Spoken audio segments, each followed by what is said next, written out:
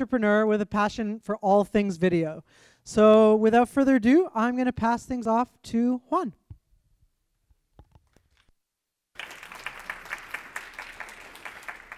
All right, thank you very much for the warm uh, welcome, and uh, thank you to the organizers of Free Code Camp uh, for this opportunity to be here sharing. Um, well, I was supposed to talk about something else, and then I changed the story. Oops. Um, uh, so, but you know, instead I'll tell you a story, and hopefully something good will come out of this story. Um, um, as Easy pointed out, I'm the lead instructor at Lighthouse Labs, and I should be teaching you how to code, but I figured you're already on your way there, so I'll tell you something else. Um, this journey I'm going to talk about starts at some point in the past. And what about the first person that tells me uh, when that journey starts uh, gets a free shirt? All right? Start doing the math. Start doing the math. A Lighthouse Labs t-shirts. Okay, so that journey uh, starts uh, a long time ago a long time ago, okay? Take, take a minute to just to do the math. Uh, okay, and, um, and it goes back, way back to the around late 80s, okay? Um, I had just gotten my first PC, all right? Uh, oh, I, we have, we have? What? No. Uh, oh, you have it? close. Oh, close. Very close. Very close. Are you doing the math or just guessing? Come on, I give you, I give you the numbers. All right. All right. So I had just gotten my first PC, and I was very anxious to start being a developer. Right now, back in the days, new PCs were like big clunky machines, and you probably have seen them in some kind of old movies. I, mine was very big, big monitor, big box, and I was very excited about it. It was very noisy too uh, around 1988. And so I managed to uh, teach myself um, some basic. And you know, why basic? Well, because at the time, that was the only software that came pre-installed with the PC. You would buy a PC and you'll get a floppy disk, and in that floppy disk, there was only one thing you could do. You could boot it, and you can code BASIC. So, well, okay, so I guess we're learning BASIC. And I, I put myself to the process of learning BASIC all the, all the way to the point where I was able to sell my first piece of commercial software for exactly 1,000 pesos. And so that was a big milestone. I was very young. I had not gone to university or anything. I was a young kid, and that meant, wow, I guess I'm stuck. I'm doing this for life. I'm doing this for life. The thrill of writing software and having someone else pay for that software was beyond me. And so, uh, so that was one thing I could do with that machine. Learn. Uh, I, I, learned by myself and then really just and started telling people, and eventually someone paid.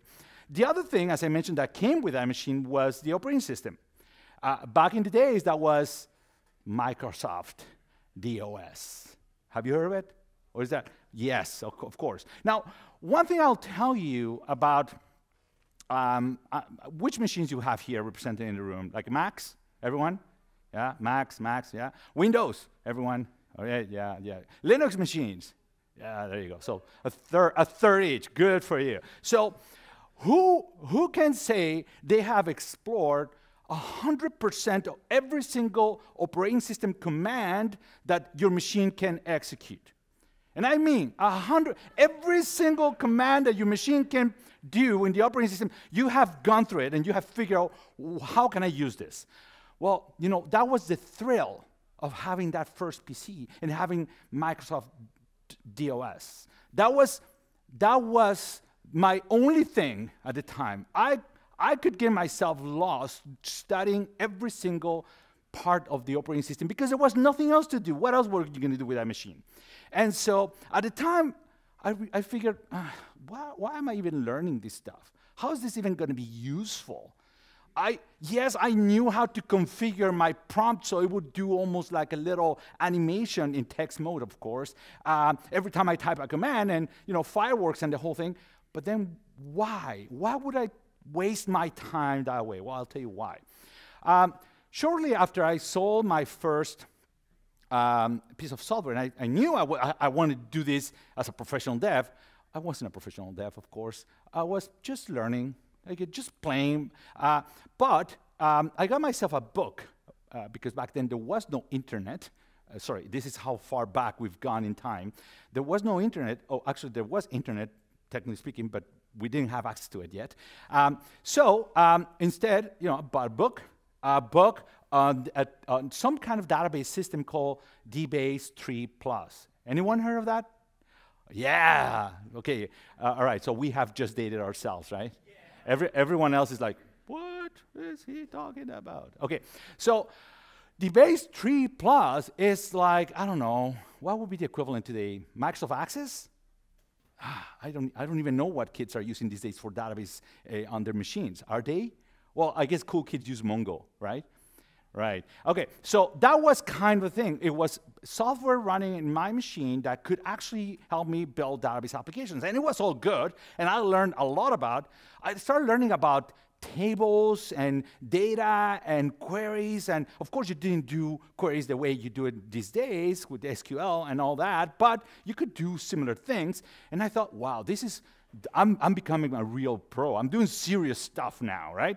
Um, and then I learned about a new tool, very modern at the time, called Clipper, which was a compiler for DBase 3 Plus applications, meaning I could plan and do all my databases, and then I could actually compile them, have an executable, and sell that executable to other people with all the running software. And that was amazing. That was kind of my next step as a, as a, as a professional software developer selling, selling software. Anyway, um, back in the Microsoft uh, Microsoft DOS years, uh, I ended up learning Pascal. And again, I felt that this, this anxiety that I want to learn absolutely everything. So I got the box, of a very fancy box with all the software and all the manuals uh, that Pascal came with. It was called uh, Turbo Pascal, uh, published by a company called Borland, which probably has gone extinct by now. I don't know. Have they? I, I, I think they're not around anymore. Anyway, we'll check that later. Uh, but the reason I was so interested in this language, this was a proper object oriented language. And everyone says, ooh. Yeah, there you go. So, um, I felt, wow, I'm, I'm doing some really interesting, complex stuff, object oriented programming. But at some point, after I had exhausted every single book, every single page, and had mastered that language, I felt, why am I doing this? Why am I learning all these things? When am I ever going to use all this stuff? And we move on to the next stage. That soon after, I mean, you're keeping track of a few years later, I land my first job as a software developer around 1992. And yeah, that's still a long time ago. And now I'm into the Unix years. See, because you learn things, and this is going to be an important lesson you might just be getting started with coding. And sometimes you question, why am I even studying this thing? This, I can do this HTML thing, I can do this JavaScript thing, but really, who's going to want me to do this little playful programs? Nobody. But what happens is that little by little, whatever, whatever you learn eventually becomes part of how you do professional software and eventually comes back and you use those skills. See, all that time I spent meticulously learning my operating system for my first machine gave me the skills of a sysadmin.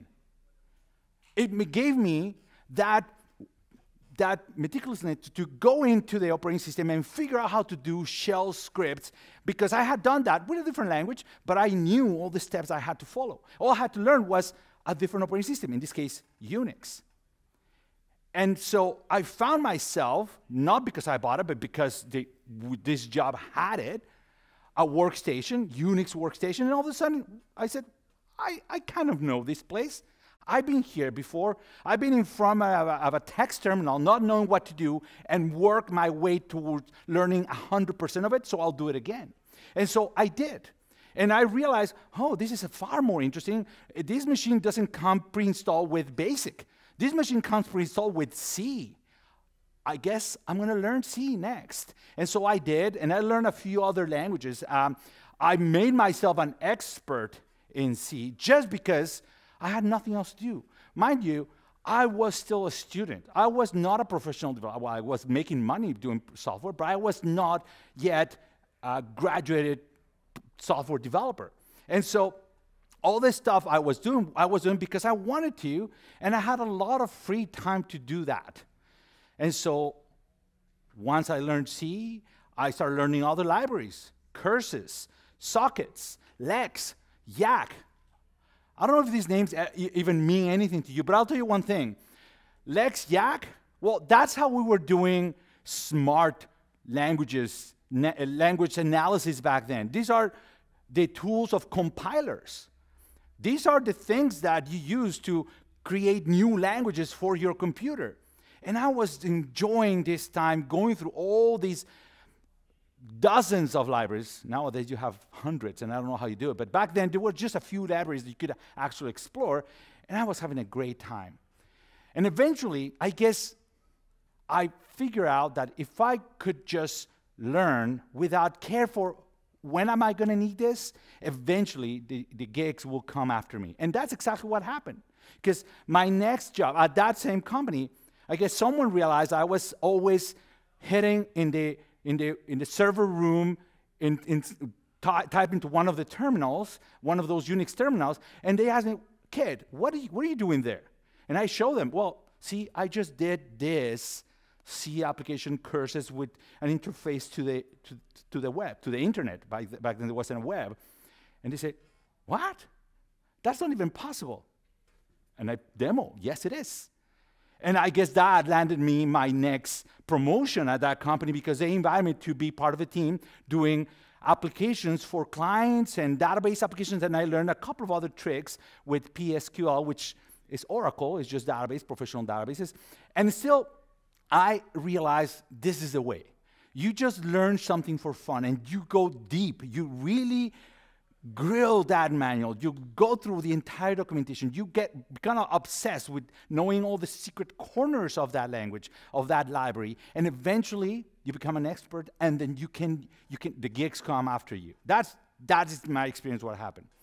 Some of the most interesting projects I worked on through those years had me building languages that had uh, were grabbing or simulating database environments and presenting things in spreadsheets. Yes, before spreadsheets existed in these environments, we were coding them. And so that was super exciting. Um, and around 1994, I had that first encounter with a web browser. I mean, the very first web browser, Netscape Navigator. Anyone remember that? Mosaic? Yes, of course. Okay, I'm catching up with you guys. Great. By the time we're done, you'll see, oh, we know more than you do, of course. So that first web browser changed or gave me a new obsession. Can you guess? Those were, well, that was not the, the, the internet years yet. Uh, that took me on a big detour because all I wanted to do was working graphing environments. I was done with text mode and Unix terminals and all that. I said, that's the way of the past. Now, we're going to go Windows. I guess um, I have to admit, I learned Visual Basic. Why, I, why did I learn Visual Basic? Well, remember what my first gig was? I already knew Basic. The only difference this time, companies, enterprises were paying a lot of money to people that knew BASIC, and they just call it Visual Basic. Yay for me. So I did I did financial applications for big companies uh, or using nothing else but Visual Basic, Microsoft SQL Server, Visual Basic for application, Crystal Reports, and I'm ashamed. I am really ashamed I went that, that far back into, into the tool set. But, you know, I learned a few new tricks. And those were the years when I became sort of an expert in databases, in relational databases, in SQL, and, and I guess that might come handy later on in my journey. the Windows years, that, that era around 95 to 97, you know, there were other very interesting things happening in the world of development of software, namely the web. But you know, it was too early, and I wasn't in the middle of the action. I wasn't at, at, at a place that could appreciate, yeah, the world's going to change, internet is going to change everything, and so I, I was there stuck in, a, in, in the room just doing uh, Visual Basic. And I, I, I figure out, hmm, this, this, doesn't, this doesn't sit well with me. It is time to take control of my career. Around that time, after a few years of doing this, and I, I stayed, every one of these stages is taking me a few years. I want that to make, I want to make sure that's clear to everyone because there's a very common fantasy that we are going to learn coding next Saturday. We're going to all get together at Free Code Camp, and, they, and a month from now, we're going to land our first gig. Oh, next year, we're retiring rich with code, right? Uh, no, it actually takes a, a, few years. It takes a few years, but that's okay. That's okay. Um, I want to take control of my career. And to take control of my career meant I want to do one kind of system. I want to work in a, in a web. I, I want to be part of that web revolution. And so it took me a little while. I had to actually move countries uh, from back home in Mexico to Canada. And, and so I guess uh, it worked because what came after was, was a long range of projects that were all very exciting. This was the first, my first attempt to understand what is this world of web and how do we do software in a professional way for the web. And so I learned all kinds of tools and frameworks and um, you know very simple languages and uh, dynamics web objects some of them are still around by the way um, HTML, of course. I already knew C and just realized, oh, wait, everything I know in C will come in handy when I'm building my servers. I jump into Python because I figured my, one of these languages is going to own the web, and I didn't know which one. Uh, it turns out it would be JavaScript. Yes. Um, I, I thought for a moment Microsoft is going well with this understanding distributed software with their infamous COM model. Don't don't even, don't, don't even go there. Uh, uh, I tried Perl. All these were uh, month-long experiments, learning a new language, figuring out how do I build a project, something good in, on this new web, and, and uh, at the same time, build up my skills. Have you noticed how broad I'm going with this career? Like, I didn't stop at anything because I, oh, wait, you know what? My, um, my thing is C. Uh, please don't take me away from my language. I'm very comfortable with my language. I don't want to learn anything else. It's the opposite. If you give me a new language, if you give me a new tool, a new framework, I'm all over it. Because, you know, ultimately, that spectrum of skills is not, they're not different things. They all complement each other. You learn tricks here that then you can bring over and cross-pollinate and get new, new ideas of how to keep moving forward. I just point that out because there's, these are the myths of starting a new career as a software developer. You, you, you think I'm going to pick one. And if I ask you, uh, some of you have picked JavaScript. Who has picked JavaScript for the for first language? Yes, come on. I know. Okay, so if not JavaScript, what else do you pick? Python. No, no Python. HTML. All right. Yeah. Yeah, that was me. That, that was me back, back then. Yeah, HTML.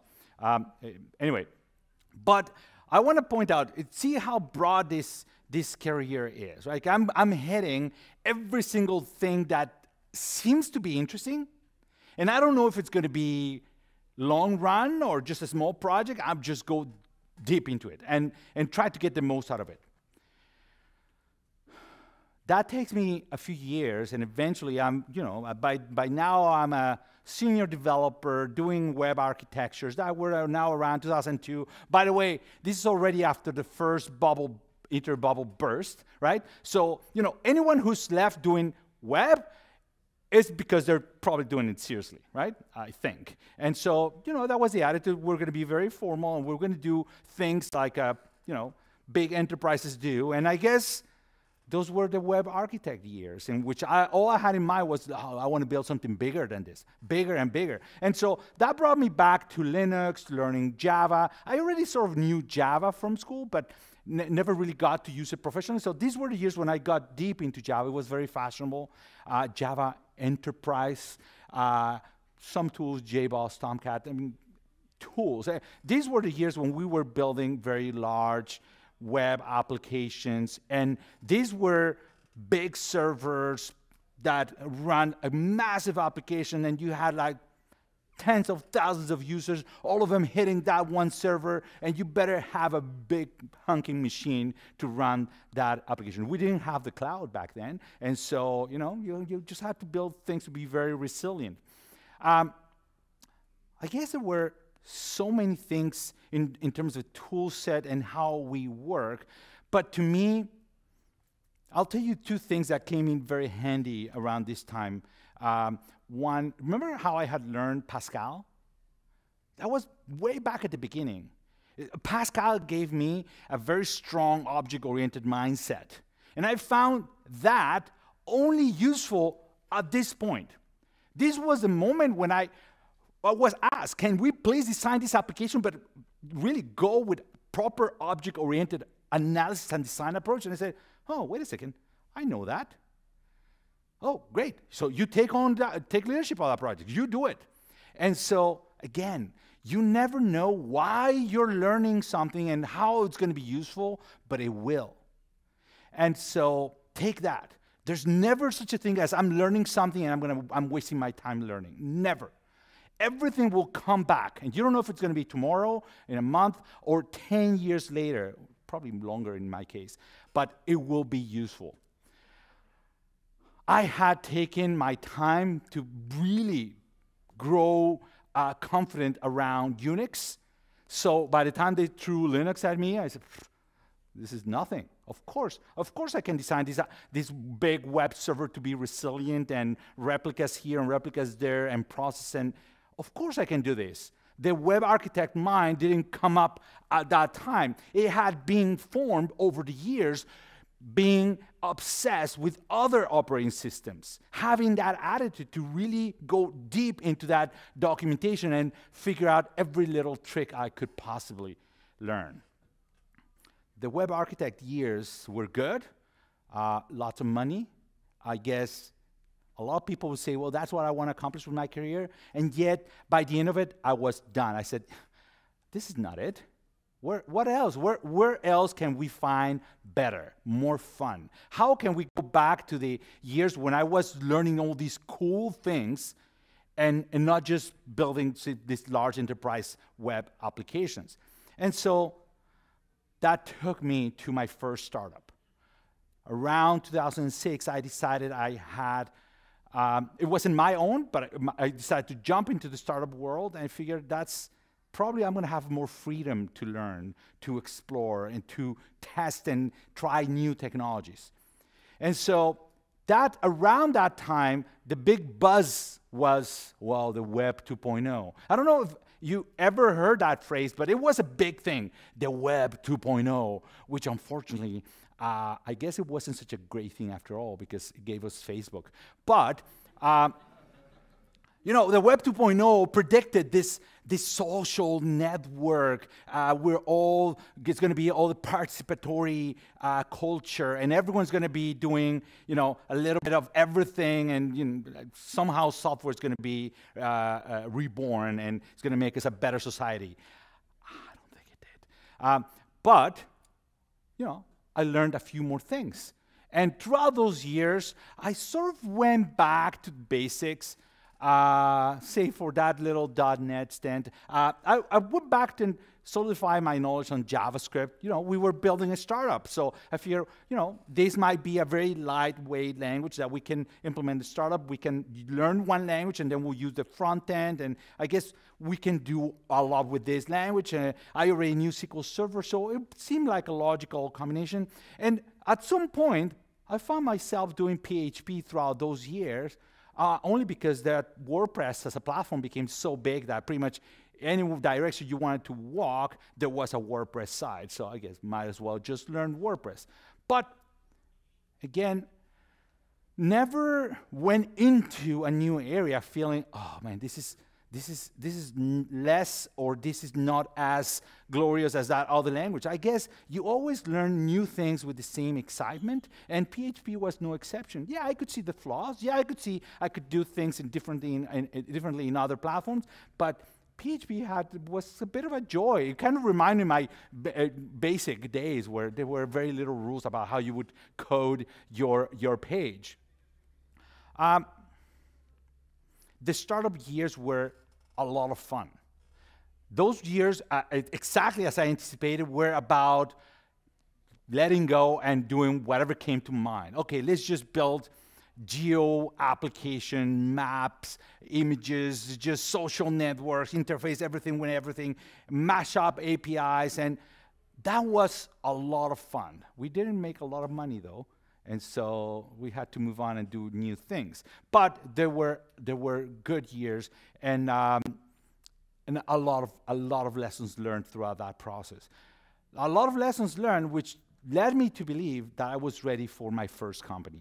Around 2012, I figured, you know, I have learned everything I need from all these startups. I'm going to do my own. I'm going to try on my own, and it's all going to be okay.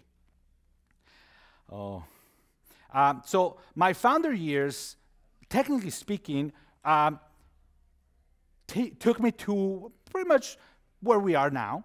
Uh, you know, JavaScript, Amazon Web Services was growing at the time, but nowadays it sort of governs everything. Node.js, uh, none of these were absolutely new things to me, but you know, the, the tooling around them, I guess it makes sense I was running or trying to build a company having all these benefits around me because it became so easy. And the architect mind was there waiting and figuring out how I was going to build this cloud based company. Uh, but I was using a lot of the things I had learned back then working for other larger clients. Uh, all the ideas of how to or organize information. You know what? They, it all started back in the days of PSQL. Um, you know, I, I learned other types along the way, but and when I came across Mongo, I could figure out, wow, this is, this is really good. But the mind, whatever lessons I, I needed were already there from long ago.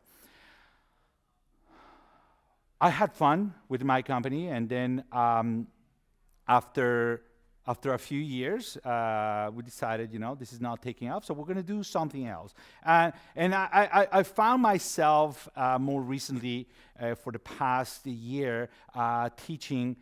I don't. I, I, wouldn't say JavaScript. I wouldn't.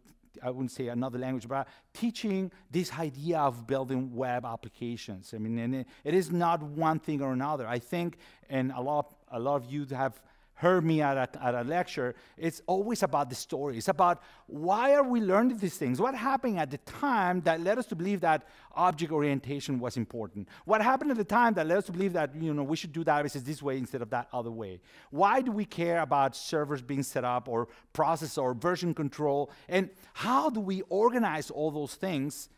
It only makes sense when you look back at your journey and realize, well, because life happened projects happened, and we had to make decisions on how to grow and become better at our craft. Um, I look back at all those years, and I cannot I cannot pinpoint one thing I learned that I didn't enjoy, that I didn't use as one way or another. And I think out of all this, I want to leave you with some lessons. Um, that's my journey. I didn't even try to count how many languages, how many hours of learning. I think if I have to say, my entire journey as a developer has been one of always be learning. I started in 88. Uh, by the way, anyone guess the date? Yeah? No? Come on, 30 years ago. 30 years, so you were the closest. Um, 30 years ago, um, I decided I want, I have my computer, I'm going to learn BASIC. Um, so, I, and I did uh, everything I could possibly learn. And today, I find myself sometimes coming across new frameworks. This presentation, for example, is it's a, it's a React framework that I just said, you know, I, I don't know much about this, but I'm gonna I'm gonna figure out. I'm gonna use it. I'm gonna do a better presentation I would do if I was to do it with key, a PowerPoint. And so you always want to be learning. It's the thrill of what you're going to get out of those next few hours, next few weeks of going deep into something. And you don't you never know when it's going to be useful. You never know how that's going to make you a better developer. I will also point out, and I don't know if this is a theme or, or but you notice how I had these phases throughout my journey. So I think it's important you try to see the big picture. What are, what are the things that are happening around me? Don't, don't, don't close yourself into one technology so, technology so much that you, re, you don't realize, oh wow, what is the world up to nowadays? And every, every now and then, in my case, every few years, you know, be willing to align yourself with the big picture. In my case, I can look back and say, well, it was very important for me to, to stop everything and jump on that plane to Canada so I could do web work. In retrospect, it was a good decision. But at the time, I'd be, is that where everyone is going? I don't know. I, I need to be talking to people. I need to be aware of my times so I can see the big picture and jump in it and, and make decisions and take risks uh, sometimes to be part of that big picture. Whether that was the Web 2.0 years, whether that was, well, I guess now we're doing startups, whether that was we're going to start web applications or we're going to we're to start doing Unix Unix uh, applications. Whatever that is, always keep in mind what the big picture might be. Everything you learn will be useful eventually. You never know how, you never know when.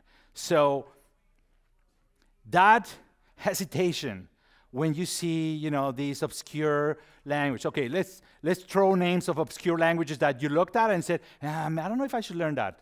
Any examples out there? Come on. You all have come across one thing and said, eh, I don't know if that's going to be good. All right? Perl, nice. Uh, what else? I don't even know what that is. Very obscure, of course. COBOL. All right, so now we're talking about time traveling. Of course. My, my point is, you never know when any of these things will, will, is going is to be useful. So, you know, learn it for the sake of learning, for the sake of training your brain to always be learning. And the last lesson I'm going to give you, or I'm going to leave with you, and, and with this I wrap up. Uh, this is it. The journey is not the end goal. It's not, oh, I want that job as a web architect up. No, no, no. Actually, once I got there, I want to keep going over and, and not above and higher, but just down the valley and into more fun places. Keep that in mind. It's the journey that matters. Is that always walking, always discovering, always changing, always learning? That's the thrill of being software. That is, it's not, I'm going to learn one thing and then I'm going to be so good and always going to be doing work in that one language and I'm going to make so much money. No. It's that journey that never ends. I'm, uh, 30 years ago, I embar- embarked into this, into this journey and I'm not I'm not halfway done. And so many more things I want to learn. Uh, they, they, the world just gets more and more interesting as new things come up, and I want to learn them all. So I'll leave you with that, with that uh, note. Uh, thank you very much for your time. I'm Juan, Juan Gonzalez of Lighthouse Labs.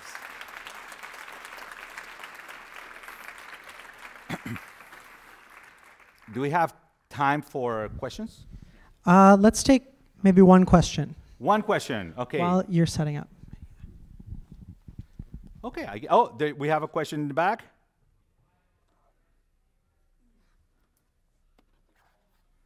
Question? Oh, back there.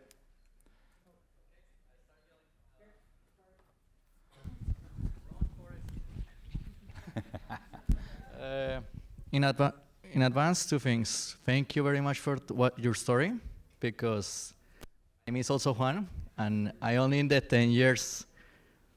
10 uh, years is nothing. Yeah, that is why you keep going. inspire me that keep going. My question would be, um, since you own the academy and you see the evolution of the web development from the start to right now, yourself, where do you see the internet going so far? What is the next step? What is the, the next thing that you see is going to happen?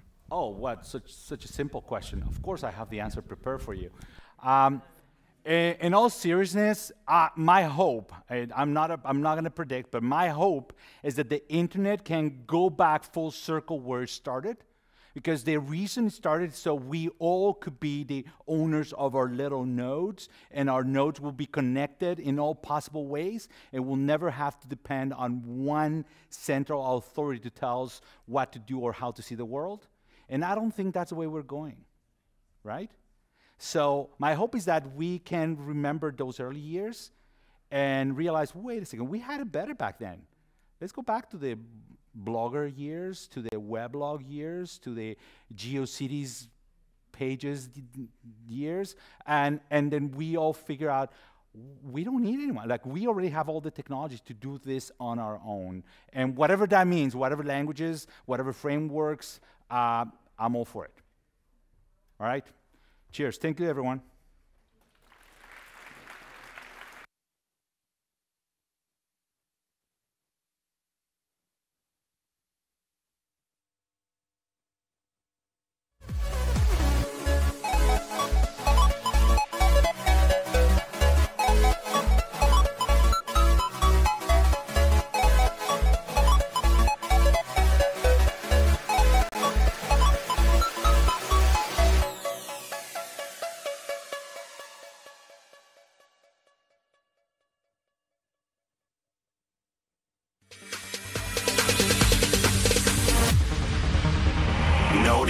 Stopping us.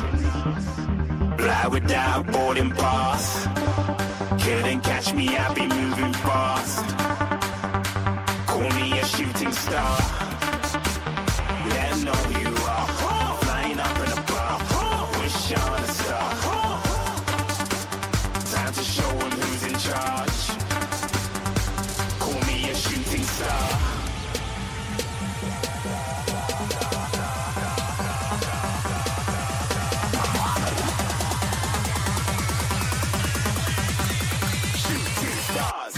Get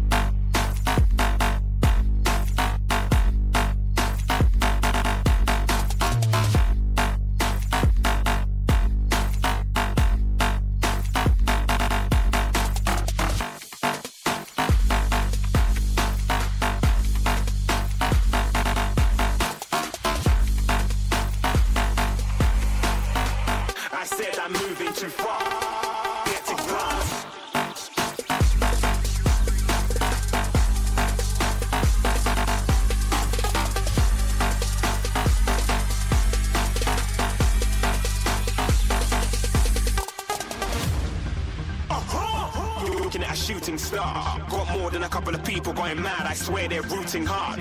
Tell them I'd be big in the game like she went and got them breast implants. I said I'm moving too fast, didn't even get to glance. I'm ready to eat up track like I'm seated in a restaurant. If you had swag like